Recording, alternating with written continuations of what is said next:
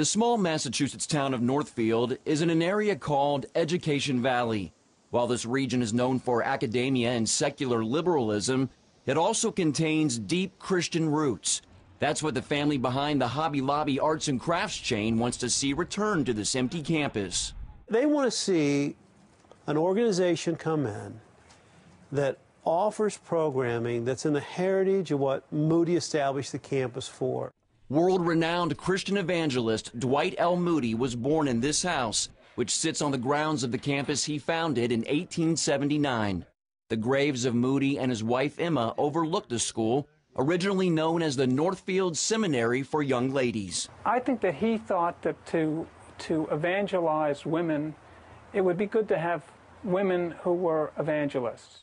The seminary eventually turned into the secularized Northfield Mount Hermon Prep School for girls. It sits vacant since consolidating with a nearby campus for boys in 2005 to save money. The Green family purchased the breathtaking property, reportedly worth around 20 million for only $100,000 in 2009. They put around $6 million in renovations into the 217 acre campus with its 43 storybook buildings, making it move in ready. The building requiring the most work on campus is this one, the chapel. More than a million dollars in renovations have been spent on it alone. In fact, the town inspector actually condemned the building after he discovered that the chapel roof was close to collapsing. The Oklahoma family now plans to give away the Moody campus. That's right, free of charge to the right Christian institution.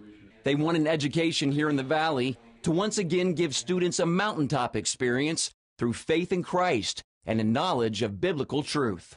Here's a book they've got on their shelf that they may not even know to what extent it has influenced their lives, given them the freedoms that they have. The Greens originally planned to give the school to a new college named after Christian scholar C.S. Lewis. After fundraising problems, they began their search for another owner. It's Jerry Pattengale's job to find a recipient who will faithfully uphold Orthodox Christianity. The right candidate must also have the finances for the preservation of the campus with its Victorian era buildings. And a ministry needs to be able to maintain not only the utilities, but, but also the deferred maintenance and just the upkeep. And uh, so it takes a good program and it takes, uh, it takes answered prayers. Hobby Lobby President Steve Green says he hopes to transfer the school to its new owners by the end of the year.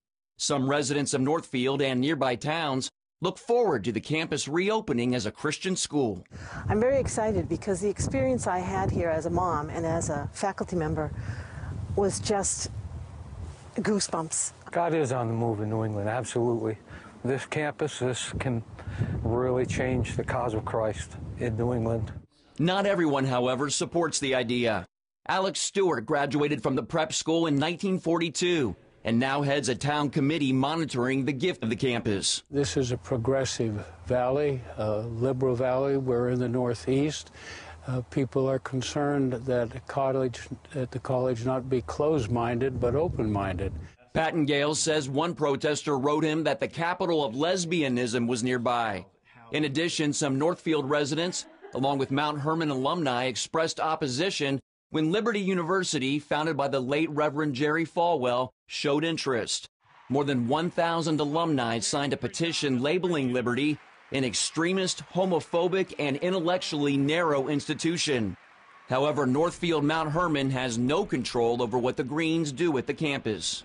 We're looking for a group that'll say, you might believe some things differently, but here's what the Bible teaches, and we want to carry on that tradition. At the end of the day, you turn back and you see what you've done and where you're at, and you just you have to stop and take a moment and just realize, you know, what it all really means.